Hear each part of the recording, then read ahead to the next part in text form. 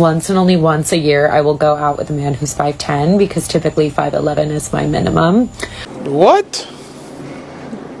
Bro, what are you talking about, man? Um, and tonight is the eve of that night. And really, I'm a bit upset that it came so early in the year. I only really did it because, and it only ever really happens out of desperation, because it's been a minute since I've gotten literally anyone to go on a freaking date with me, let alone have a conversation. Um, and like, I already know it's a no. I'm terrible. Ugh, guys, dating apps are dead. Not me. So I am so hungover. Being single is hard work. It's difficult. Going out is hard. It's tiring. It's expensive. I thought being single I would save money. Complete opposite. Complete opposite. I am always out. I'm always having a drink. And I thought it was in my healing era, my you've got this girl, you don't need no man era.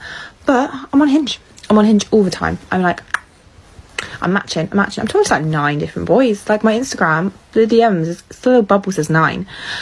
I haven't got the time, I haven't got the patience, and I haven't got the conversation. They, I'm doing it. I'm doing it for the notification. I'm enjoying my going onto my phone and it being like, you've been sent a message, and I'm like, ah, exciting! I'm wanted. Um, but they were like, do you want to go for a drink? I'm like, no, I don't. You've served your purpose, and now I'm kind of done. Um, I think I'm gonna do boy sober in May. I'm gonna delete Hinge. I'm gonna possibly ghost all the boys I'm talking to. Sorry, boys, but it's harder than I thought it was out here. Honestly, I need some help. I'm not sure I can do this alone. You're not smart enough, sweetie. Well, guys, I think you finally succeeded. I think I have lost the absolute last shred of hope I had that there's still good men left in the world. Just went on a date.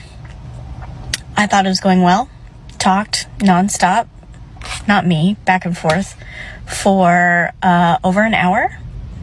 And then all of a sudden, he had to take a call from a client. And he never fucking came back.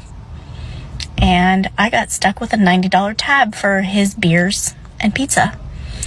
So, yeah, I'm not doing this anymore. 4B movement all the fucking way from here on out. You guys suck. We don't care.